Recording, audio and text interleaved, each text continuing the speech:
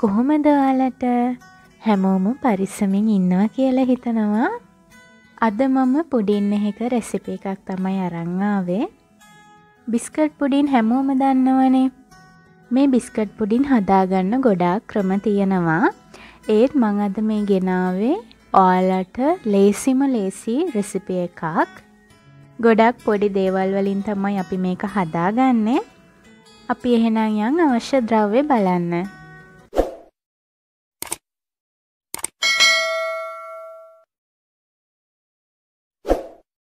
මේ දේවල් ඔයාලගේ කැමැත්ත අනුව වෙනස් කරගන්න පුළුවන්. මම මෙතන අරන් තියෙනවා ටිකක් ලොකු බිත්තර දෙකක්.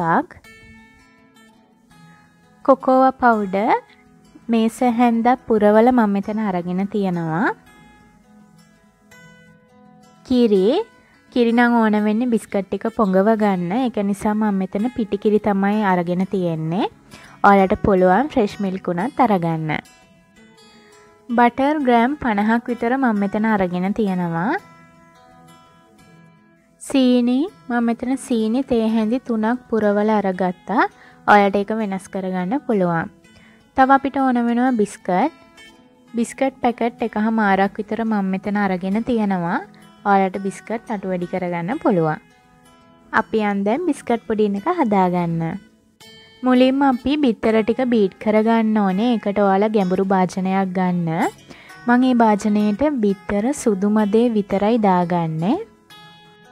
බිත්තර දෙකේම සුදු මද විතරක් දාගන්න. අපි කහ මදේ වෙනම ගන්නවා. ඒක නිසා එක විසික් කරන්න එපා. ඒකත් තියාගෙන මේකට සුදු මදේ විතරක් දාගන්න. මන් දැන් මේ සුදු මද දෙක හොඳට බීට් කරගන්නවා. මේක හොඳට පෙනෙනකම් බීට් කරගන්න. මේක බීට් වෙනකම් මං ඔයාලට කියන්නම් මේ වගේ බිස්කට් පුඩින් එකක් හදාගන්න ඇයි මම ඔයගලන්ට කියලා දෙන්න කියලා. විශේෂයෙන්ම මේ බිස්කට් පුඩින් එකට ගන්න අමුද්‍රව්‍ය බොහෝම පොඩ්ඩයි හැමෝගෙම ගෙවල් වල තියෙන දේවල් ගන්නේ. මේ කාලෙටත් ගැලපෙන හින්දා ඒක නිසා තමයි මම මේ රෙසිපි එක ඔයගලන්ට කියලා දෙන්න ඕනේ කියලා හිතුවේ. ඔන්න දැන්නම් මගේ බිත්තල් සුදුමද දෙක හොඳට බීට්ටලා තියෙන්නේ. ඔගලන්ට පේනව ඇති. මේ විදිහට පෙනෙනකම් බීට් කරගන්න. මෙන්න මේ විදිහට තමයි එන්න ඕනේ. ඊට පස්සේ මම බීට් කරගත්ත බිත්තර දෙක වෙන භාජනයකට දාගෙන අර භාජනයටම මම බටර් ටික දාගන්නවා. ඒ බටර් ටිකටම මම සීනි ටික දාගන්නවා. මෙතන සීනි දාද්දී ඔයාලට පැණි රස අනුව අඩු වැඩි කරගන්න පුළුවන්. ඒක ප්‍රශ්නයක් නැහැ. ඊට පස්සේ බටර් ටිකයි සීනි ටිකයි හොඳට බීට් කරගන්න ඕනේ. මම සීනි මෙතන වෙනමම කුඩු කරගෙන නෙමෙයි දාගත්තේ. ඔයාලට පුළුවන් ඕනනම් සීනි ටික කුඩු කරගෙන දාගන්න. එතකොට බීට් කරන කාලය අපිට අඩු කරගන්න පුළුවන්. මේ විදිහට මම හොඳට බටර් ටිකයි සීනි ටිකයි බීට් කරගන්නවා.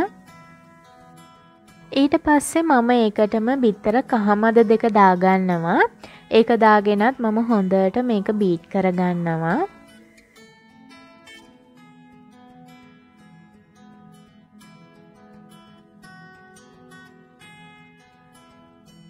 ඒක බීට් වුණාට පස්සේ මම කොකෝවා පවුඩර් මේස හැඳ දාගන්නවා. ඒකත් මම හොඳට මේ විදිහට බීට් කරගන්නවා.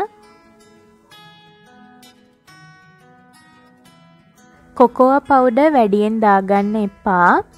එතකොට ඔගොලන්ගේ පුඩින් මිශ්‍රණය තිත්ත ගතියක් එයි. ඒක නිසා ගානට අඩුවනාට ප්‍රශ්නයක් නැහැ. ගානට දාගන්න. භාජනයේ වටේ ගෑවිලා තියෙන ටිකත් හැන්දකින් අරගෙන ඒ ටිකත් හොඳට බීට් කරගන්න. මෙන්න මේ විදිහට තමයි මිශ්‍රණය එන්න ඕනේ. ඊට පස්සේ මේ මිශ්‍රණයටම අපි කලින් බීට් කරගත්ත පිත්තල සුදු මද ටිකත් මේ විදිහට හොඳට එකට දාලා කලවම් කරගන්න. ඒ ටික බීට් කරගන්න එපා. එක හැන්දකින් හොඳට කලවම් කරගන්න.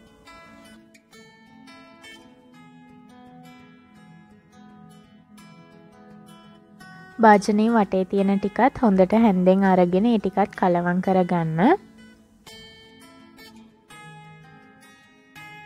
ඔන්න දැන්නම් මගේ මිශ්‍රණය හරි මේක තමයි අපේ පුඩින් එකේ අයිසින් මිශ්‍රණය. ඊට පස්සේ මම මේ වගේ තැටියක් ගන්නවා මේ තැටිය තමයි මමගේ බිස්කට් පුඩින් එක හදාගන්නේ ඔයාලට පුළුවන් කැමති හැඩයක තැටියක් ගන්න. ඊට පස්සේ මං මාරි බිස්කට් ටික මේ විදිහට කිරිවල හොඳට පොඟව ගන්නවා. බිස්කට් ටික හොඳට පොඟව ගන්න මොකද හයි වෙලා වගේ තිබ්බොත් අපේ බිස්කට් පුඩින් එකේ සොෆ්ට් එක නැති වෙනවා. මුලින්ම මං තැටිය යටටම දාගත්තේ බිස්කට් තට්ටුවක්. ඊට පස්සේ උඩට මං හදාගත්ත අයිසින් ටිකෙන් ටිකක් මේ විදිහට දාගෙන ඒ ලේයර් එක කවර් කරගන්නවා. අයිසින් තට්ටුවක් දාගත්තට පස්සේ මම ආයිත් බිස්කට් ටික කිරිවල පොඟවල අයිත් බිස්කත් තට්ටුවක් මේ විදියට හදාගන්නවා. ඒකටත් උඩින් මම ආයිත් අයිසින්ලේ එකක් දාගන්නවා. මේ විදිහට ඔගොල්ලොන්ට තට්ටුවෙන් තට්ටුව මේ බිස්කත් පොඩින් එක දාගෙන හදාගන්න පුළුවන්.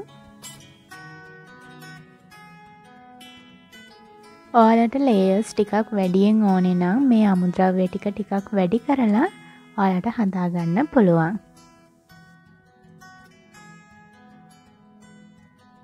මන් දැන් බිස්කට් පුඩින් එක හදාගෙන ඉවරයි. අන්තිම ලේකට එන්න ඕනේ මේ විදිහට අයිසින් ලේ එකක්. මන් දැන් පුඩින් එක ගානිෂ් කරගන්නවා. ඒකට මම බාරි බිස්කට් කුඩු කරගෙන දාගත්තා.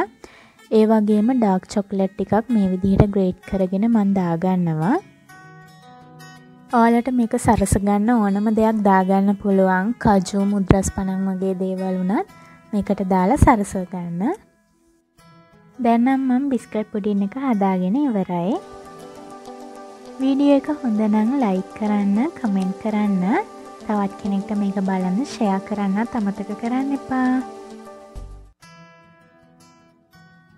හිතනවා ඔයාලා මේ බිස්කට් පුඩින් එක හදයි කියලා. ලේසි නිසා අනිවාර්යයෙන්ම හදන්න. මොකද වැඩිය බඩු එහෙම ඕන වෙන්නෙත් නැහැනේ. ඒක නිසා මේක හදලා රස මට කමෙන්ට් එකකින් දාන්න අනිවාර්යයෙන්ම එහෙනම් මං අදට ගිහින් එන්නම් තවත් අලුත් වැදගත් වීඩියෝ එකකින් ඉස්සරහට හම්බ වෙමු එතකම් පරිස්සමෙන් ඉන්න බොහොම ස්තුතියි